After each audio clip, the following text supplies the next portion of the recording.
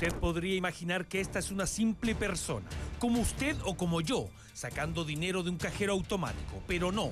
Él es el líder de una banda organizada llamada los Taxichorros, antisociales que se dedicaban a manejar taxis y que tomaban pasajeros en el sector oriente para luego robarles todo lo que podían.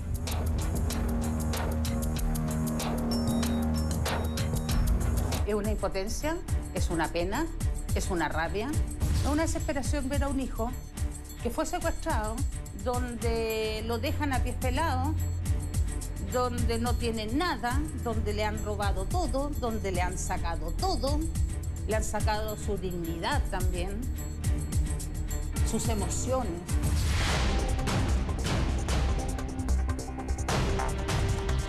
Su dinámica era simple, pero organizada. Tomaban pasajeros de madrugada y a los breves minutos de andar se subían dos delincuentes al taxi y al interior de este, con cuchillo en mano, le robaban todo lo que tenía.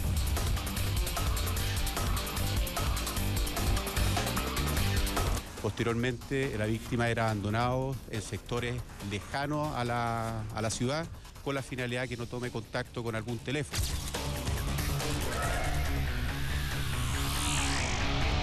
Yo salí para el taxi, inmediatamente me- se metieron dos personas y me empezaron a, pegar entre los dos, me pegaron con algo contundente, se pararon a un banco que tenía cajero y fueron a sacar plata.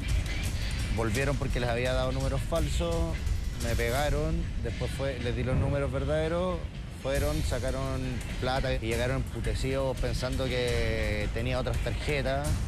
Y a ellos simplemente les grité, cachaste mal. ¿Qué más te robaron? Me robaron el celular, me robaron una chaqueta, las llaves, casi todas las cosas que pudieron. Unos audífonos también que andaba trayendo. Era muy violento. Sí.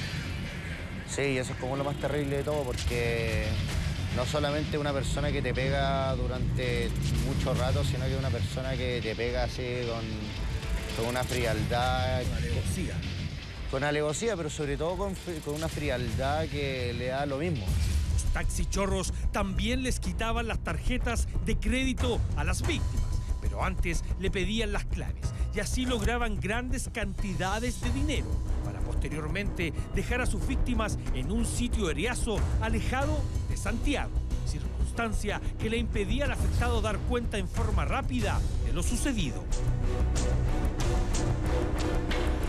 ¿Dónde te dejaron? A mí me dejaron con Rondizoni, yo estaba súper en shock. Porque me tiraron, yo estaba sin nada, pero sin nada. Me empecé a caminar por unas calles y había un edificio. Y ahí estaba la portera que al, pri- al principio no me quiso ayudar. Como que me senté en la cuneta y me puse a llorar así porque estaba como... de- o sea, desde el vamos no voy a creer lo que me había pasado.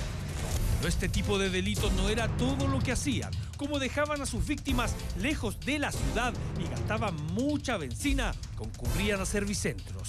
Y en colusión con sus trabajadores, los bomberos robaban benzina y de paso, como se dice en la jerga delictual, reventaban las tarjetas de crédito de quienes habían secuestrado.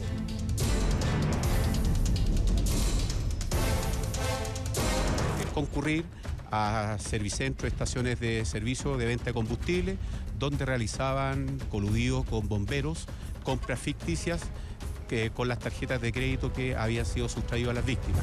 Una banda que cometió esta fechoría por cinco meses. De preferencia, sus presas eran los adultos jóvenes que regresaban de madrugada a su hogar.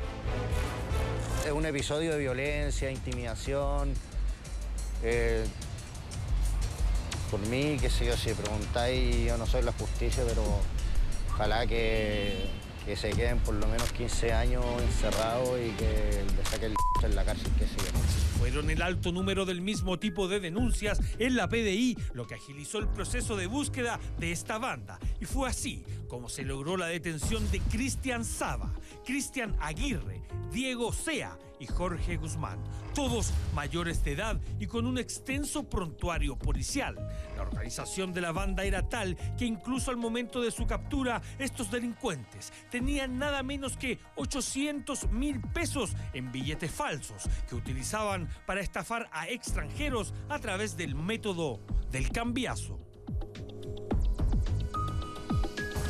El trauma de mi hijo, la angustia de mi hijo, la pena que yo tengo, y lo que yo quedé, a mí no me lo va a borrar nadie, ni el delincuente, ni nadie, porque eso queda para la vida y queda para toda la vida.